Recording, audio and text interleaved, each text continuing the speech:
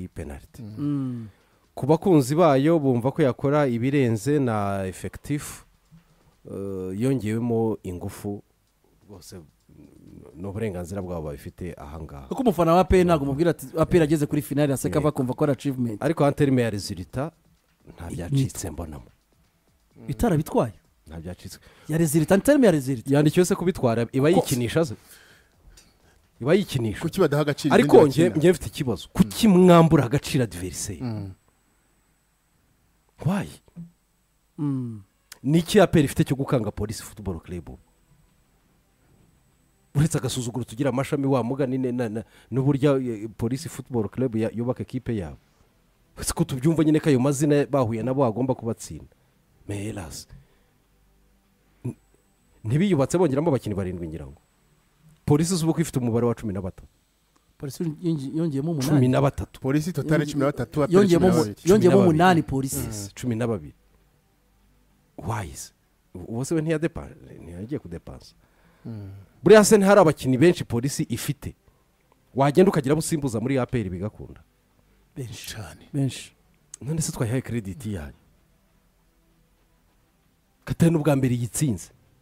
Ubu se bwo muri shampiyona niki kikubwira ko aperi izabatsinda ariko umufana wa aperi n'umufana wa aperi uwo mufana mwihorere rero. afite purasa Aha. kumva ko ekipe yari ahantu ibiri ikinyuranye rero hagati yacu twebwe n'abafana ni ugushyira fagitsi ku meza. Umufana it's all about amarangamutima. Kandi ntiwayamubuza. Ariko they are facts.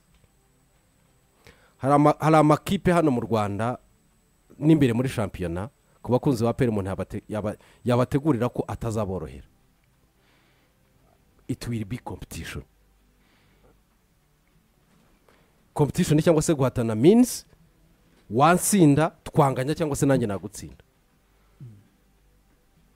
Ngewe ntabwo mbona ntabwo ntabwo mbona iyo prediction ivuga ko byanditswe ko aperi ubu yahuye na polisi efuse aperi igomba kubatsinda sindimo mbibona anterime ya sikwadi sindimo mbibona rwose. Rusi dezore nta kinyuranyo kinini ndimo mbona hagati y'izo sikwadi ebyiri. Cyatuma umwe yumva ko yandikiwe guhita abatsinda ntacyo mbona. Uretse kwambura kerediti polisi futuboro kerebe n'ingufu yashyizemo mu kwiyubaka n'uburyo efekitifu yabo ihagaze Mm. hari abakinnyi beza polisi futuboro kerebe ifite nongere mbisubiremo mbona bafitinga cyangwa se bakagira aho basimbura muri apr Mm. So, bakinnyi rero bagahanganika batsinda cumi n'umwe jado lisite cumi n'umwe cumi n'umwe polisi yagira benshi kurusha oya bahanganika batsinda ubanza utanyumvishe neza avuze ko ari abakinnyi ba polisi. Anterime ya ya efekitifu na karite anterime ya efekitifu ni na ba cumi n'umwe cumi n'umwe besiti ileveni kwa kundi ziri bya kombinedi bindi. ziri kombinedi hari abakinnyi ba poli ba polisi bo- bo- boja muri cumi n'umwe kandi beza cyane. Bazi benshi se nko hagati nko hagati babasumbye ikisi dufatiye nko hagati honyine cumi n'umwe kontere cumi n'umwe ba apr n'aba polisi futuboro kerebe mu guhangana mu kibuga urumva? Mm. nta nka yacitse amabere. Bahangana. Nta n'umwe waza yandikiwe gutsinda undi. Atirisi kompetishoni irimo na challenge irimo. Yego kuko ni ama ekipe yose yaguze abakinnyi beza Yeah, bakomeye. Mm. gukina ugatsindwa kuri sekafa kagame kapu utsinzwe na champion wa zambia. Mwageze kuri nivo ya penalite ibi byitwa igitangaza Mm. byitwa igitangaza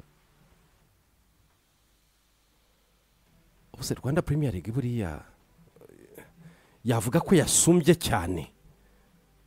Zambia league. Oya zambi iri hejuru cyane. None jado tugarutse kuri uyu mukino ni aperi birumvikana. Time ya rezilita wenda. Ku ibyo bikombe ntabyo itwaye ibyo yari irimo. Yego yari puresizoni ariko igiye noneho mu bibara. Igiye mu bibara. Umwe mu mikino uzingiye cyane ku mwaka w'imikino mbere y'uko ijya mu bibara rero. Mbere y'uko ijya mu bibara. Nyemerera ku rwego rw'abafana umuntu abanza ababwire ngo ibirenge ku butaka Eh? hari na ba nyina b'abandi biteguye kubabyariraho abahungu. Na hano ku butaka bwo mu rwanda. It won't be a walkover season for apr not at all. Even in rayon sport it's not the same that it was last season. They will compete. Mm. they will get challenge rwose. Icyo ubanza ukemere this time noneho ubwo hajemo n'amara rimwe rimwe ni rimwe rimwe rimwe kabiri ya hariya muri excom noneho. Byo birushaho noneho hafi kungana. Bi- birimo birarushaho kungana rwose. Azamu uko aperi yiteguye yamenye igihe izahura na azamu na azamu yamenye igihe izahura na aperi aperi imaze iminsi ijya muri tanzania azamu yaje i kigali. Mm. na yo ireba uko bimeze. Igihe bakinaga superi kupe azamu byibura yo yabonye imikino ibiri. Haperi yo yari umwe iyo ni inyongera mu bigwi mu kwiyubaka mu bushobozi n'iki azamu ni azamu turayizi. Yego. Efekitifu yayo turayizi. Muri izi gahunda zo gushaka abakinnyi b'abaporofesiyoneri wazana n'iki? Aperi uko ihagaze uyu munsi. Ntabwo yari yagera ku rwego rwa zamu ejo bundi yahoze igaraguzwa hagati na garan furere wayo yanga twarabibonaga. Ahangaha cyo kimwe n'ibyo muri muvuga bya aperi na yo irimo itakaza superi kupe rayiti si ubwa mbere iyo azamu kompuregisi aperi igiye kuhakinira. Wenda izaba ifite umwitangirizwa niba maci izabera ku mahoro aperi izaba ari nk'inshuro ya gatatu azaba ari inshuro ya mbere. Ku ruhande rwayo. Mm. aperi kuvuga ko nta gitutu yaba ifite ntabwo bishoboka kubera ko niba ubyibuka neza n'ibyo ivugirwaho n'ibiki ibyo ari byo byose ko indege itazima itanagira n'ibiki yaba n'ubushize yari yarenze iyi etape ya mbere iviramo kuri rawundi ya kabiri Eh? Mm. this time kuri rawundi ya mbere already yahise ihura na na na, na aza uh, c'est pas facile gukina bakina rwose. Gukina bakina Mm. gukina bakina ariko bienke match ya kabiri izabera i kigali eh, shehe ni we twigeze kubidebataho mbona iriya match yo ku cyumweru iriki. Yeah. iriki cyane. Kuko we egisipegita azamukuza kurunda ibishoboka byose kuri apr nk'ikipe izakina umukino wa kabiri hanze. Apr na yo no mu ishusho ryayo nuko no muri iyi minsi nayibonaga. Uburyo irimo itinda mu bwugarizi njye ni byo ntegereje kuri iki cyumweru. Uyu munsi desire nta byamara wa mugani wa jado gatandatu uteranyeho rimwe gutyo gutyo uyu munsi bira- birafunguye. Hari icyo wakwizera kuri uyu mutoza darikonovici noneho atari amaze iminsi akwereka ko yarabitubwiye. Nakinnye imikino myinshi yo kwitegura ariko iri su forume ya kompetisiyo bituma ntakiramo abakinnyi benshi. Ubuhoho. Uramwitegaho iki dariko kuri uyu mukino? Igitandukanye kuri ibyo yavuze. Ubu rero agiye muri kompetisiyo gusumba n'izo kompetisiyo yahoramo. Hanyuma ikindi jyewe sidike nk'uko bivuze icyo namwiteze ko ni uko ibyo yari asanzwe akora ni byo niteze n'ubundi. Nanone? Nanone ni byo niteze. Kuko ni umukoci yatweretse maci ku maci umunani ibyo akina ni bya bindi aba asimbuza ni ba bandi nta na kimwe arahindura maci umunani siniteze ko agiye kubihindura maci y'icyenda ya kompetisiyo isumba za kompetisiyo zamushyira ku puresha gusumba. Uno munsi ni ho mbona ko afite puresha gusumba izo kompetisiyo zindi yavuga. Kubera agiye muri kompetisiyo afurikeni icyo mbona ariko ku bwanje ku bwanje yari akwiye gufata risiki abo bakinnyi baguzwe bakagurwa byinshi kandi bakagurwa amakipe meza no mu mashampiyona ari hejuru y'iwacu. Nibaza ko yageze ko babahereza- umwanya. Bakajya guhangana n'iyo ekipe ya zamu na yo nyine ifite abandi bakinnyi yakuye muri ayo mashampiyona. Ba- bamwe bamwe banakinana muri izo shampiyona. Ariko akabandanya akoresha sisiteme yiwe twabonye iri defansife cyane. Nibyo ku mukino wa mbere ashaka kuyi- ashaka kuyikoresha kuko twarabonye ko anabikunda. Kandi ho byaba bifise bizaba bifise n'insiguro kuko agiye kurondera resulta muri tanzania akaronka nka, dro hariya byamufasha cyane kuri match retour. Naho bitaba naho atagaranti birimwo kuko turamaze kubona ko hanze amakipe arahatsindirwa Ara- kandi ekipe iri mu rugo iratsindwa. Nibisanzwe biraboneka biramaze kugaragara. Ahangaha hari igitego cyanze kiracyabara Ne- igitego cyo hanze kiracaba Mm. donc rero jewe ku bwanje yarakwiye guha chance aba bakinnyi baguzwe bakajya mu kibuga bagahatana. If they are ready. Bari Ku bari kuri lisite kuri lisite ndibaza bari bwa- urakoze cyane sidi Kuko- uzanya uzanya po Lucas, ikomeye. Niba bari kuri lisite kuri makumyabiri na babiri Uzanye yatwaye ni ukuvuga ko nta esikiza zindi zavuze. twahere kuri lisite yabo yasize c'est ça. Twahere kuri Bari lisite yabo ready. yasize sa signifike abatwaye bari ready. Eh, uyu mukino uyu uyu- uyu mukino muri uwo mujyo arimo avuga hari ibibazo byinshi birimo byibazwa kuri APR ye abakinnyi baje ntibashoboye sibyo ariko bashoboye bari bakina. Ngewe nterimo bashoboye ese banza bagira.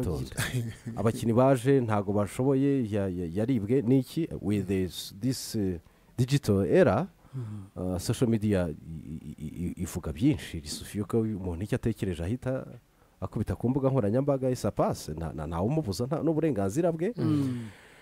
Eh, ku ruhande rw'abatoza buriya ntabwo bari baba tayari abandi bati uyu nawe ni foroje pro max. Byo kugarira ubusatirizi haracyarimo ibibazo n'ibiki? Ibyo bibazo byose. Kubera ko noneho bageze muri vraie competition nyayo araza kubidusubiza. Niba yabatwaye natabakontaho bikagaragara ko atabakonseho iminota ijana na mirongo inani igashira.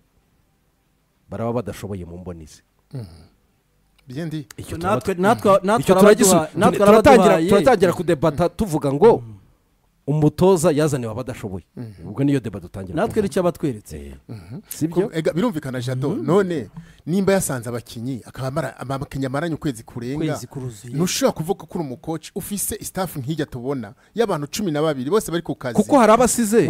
Hari abasize tuzi Eh. bo tuzi. Sibyo? Tuzi baka dokwa yire kapabure tuzi picu icyo ashoboye. Tuzi apamu icyo ashobora gutanga. Tuzi forodwari icyo ashobora gutanga. Abo byibura si bane yasigaje ahangaha we egisipegiti ko bariya bagiye baba Babarusha. babarusha. Niba babarusha rero ubwo bajya mu kibuga. Kandi biteguye kuba bakina. Yes. Icyo ni icya mbere ikindi cya kabiri. Niba utabakoresheje ubizi neza ko i kigali amahirwe yabo yagabanyutse bijyanye n'amategeko ahari ubwo n'ubundi bahari badahari. Atabakoresheje abatwereka yuko abo yahasanze ari beza abo yahasanze ari beza gusumba abandi. Ikitaba igisobanuro cyo ikitaba igisobanuro cyangwa se anakigumane n'abamuri hafi bose akigumane they are not yet eh, ready. ibyo ikipe nabigumane ya mu kwezi kose ntushobora kuvuga ngo ngo ntarire bigumane. ufite staff ni oya n'imitoreze yawe niba abantu bamaze ukwezi.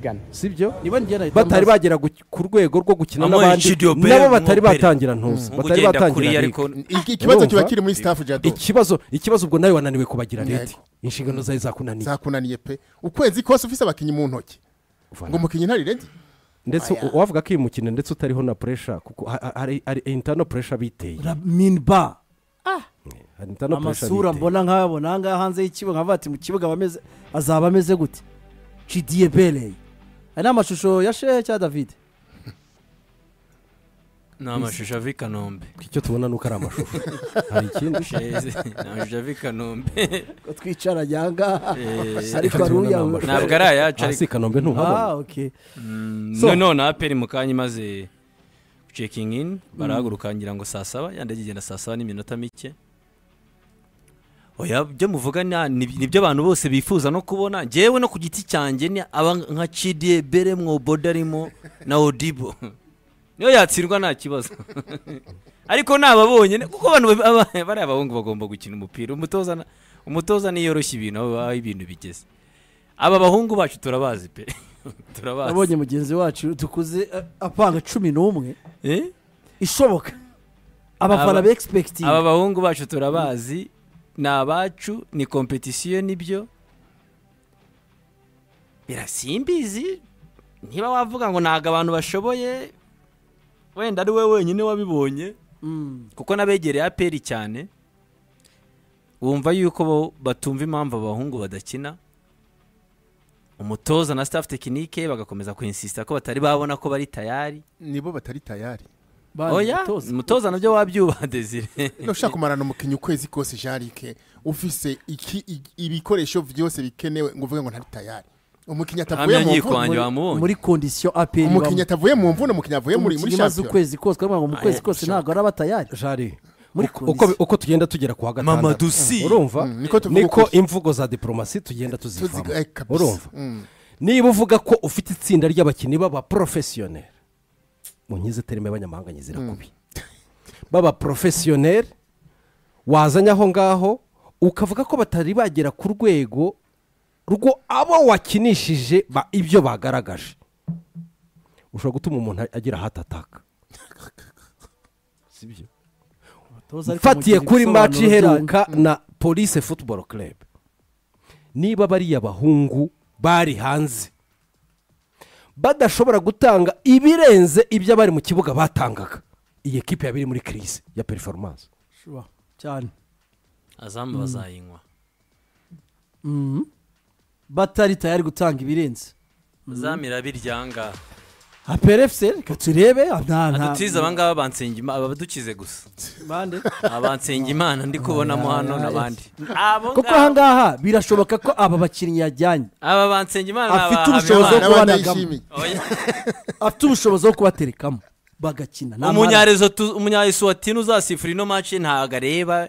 Ngo ngo indangamuntu yanditseho undi. We ntabirimo upfa kuba ari umukinnyi ufite ibyangombwa bya kafu Mu- muri iyi si ya none muzambwire desire we ntacyo twe turisaziye n'imvi zacu ni nyinshi nta kibazo ariko futuboro yarahindutse koko ijana ku ijana ku buryo ubu ngubu wabura n'iminota cumi n'itanu y'aho ba rutahizamu babiri bashoboye mpuzamahanga bahurira mu kibuga ushaka igitego ushaka igitego ntabwo bishoboka futuboro ya- yarahindutse bigeze aho ariko wowe jado wo- wo- wo- wewe wewe umbwira ko ushaka igitego musigaje iminota itanu ya muri mace kuri finale. kuri finale. Winjije uretse- bimwe kandi- twavugaga ngo winjije- ngazabakinisha gute? Ngo Oya, Mba- oya, ngo mbape ngo oya. rodiriyego ngo vinicius. Ntabwo babonye bose ngazabakinisha gute? Ngo urumva ngo hagati ngo agomba kuba harimo kamavinga na comi barimo gute se? Niko sidike siporo ko ari igitego Sidike, ufashe mu mikino umunani ukinnye wafashe iminota cumi n'itanu abo ba rutahizamu ubakinisha ari babiri.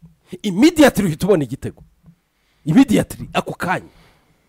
Uhita ubona igitego ibyo bintu urangije ubicikaho gutoza ntawe ukubujije ni umukino gutoza ntawe ukubujije niba ufite ama- ama- amasezerano n'ibiki ibyo ari byo byose ibyo ni uburenganzira bwawe ariko hari ibisobanuro ahangaha utaza ko natwe habaye dufise natwe dufise uburenganzira bwo Eh, ku- bwo- voilà. bwo- bwo kuraba ibyo kwanariza ibyo akora. Mm? Siti wowe ushyiramo umukinnyi nimero gatandatu gute? Hasi mirongo itanu ngo umukino urangire kabishywe hari igihe batsindwa bakanga kuza imbere y'itangazamakuru. Sometimes ndabumva n'igihe baba badafite icyo kuvuga. Oya. ivyo navyo no guhunga responsabilite nayo n'amakosa wazihunze nibyo ariko ur- burya ha- hari situwasiyo hari ibihe umuntu ageramo? Uro silence vodolore Mm. cyane. Aho rwose kwicirikira biba bingana na zahabu. Biba bingana na zahabu cyane. So mu by'ukuri navuga ko wavuga ko ubu kuri eh, dariko nta cumi rwitwazo n'umwe banjye mbaguhe? Bande. Cyane. Kuko ahangaha birafunguye. Paveri inzira ariko akagabanya ibikoresho. Ko naramubonye nawe abamuzi cyane bavuga ngo iyo atarakora akantu ngo aba arajya